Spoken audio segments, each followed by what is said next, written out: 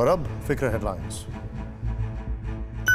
केंद्रीय मंत्रिमंडल में फेरबदल की अटकलों के बीच पीएम आवास पर बड़ी बैठक. प्रधानमंत्री मोदी, अमित शाह और जेपी नड्डा के बीच हुई मीटिंग.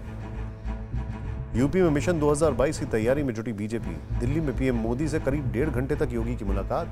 बीजेपी अध्यक्ष जेपी नड्डा से भी मिले सीएम योगी. पश्चिम बंगाल में बीजेपी को बड़ा झटका, मुकुल रॉय ने ज्वाइन की टीएमसी. सीएम ममता बनर्जी ने कहा, अपनों का स्वागत, लेकिन जिन्होंने गद्दारी की, उन्हें नहीं मिलेंगे वापस.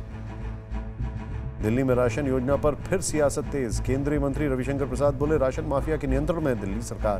केजरीवाल का पलटवार कहा गाली देने के बजाय सबको साथ लेकर चले। पश्चिम बंगाल के जलपाईगुड़ी में बीजेपी सांसद जयंत कुमार रॉय पर हमला। सांसद को गंभीर हालत में अस्पताल में भर्ती कराया गया।